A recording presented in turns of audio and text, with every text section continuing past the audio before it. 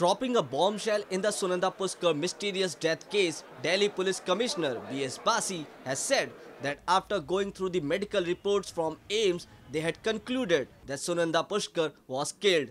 He further went on to say that she was either given the poison orally or it was injected into the body.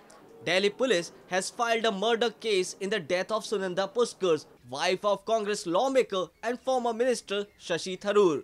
The police FIR does not name anyone.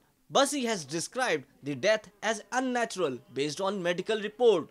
Viscera samples, he said, are being sent abroad for investigation. Sunanda Puskar was found dead in the five-star hotel in Delhi on January 17 last year. Sunanda was an entrepreneur in Dubai before she married to Sashi Tharoor in 2010. Opinion मिली थी जिसमें उन्होंने conclusion दिया है कि death unnatural थी ये poison के कारण हुई थी। इसमें जो है इसको औरली भी लिया गया हो सकता है। इंजेक्शन के ज़रिए भी ये दी गई हो सकती है।